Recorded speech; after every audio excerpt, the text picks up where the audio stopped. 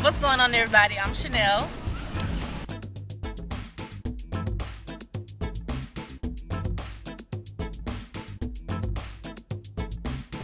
I have been natural for exactly five months and one day.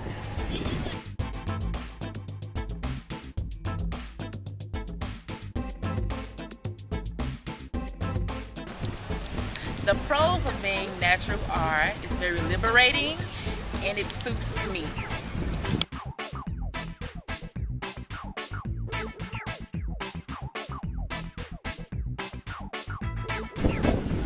The cons of being natural are it's very time consuming and it's a lot of trial and error.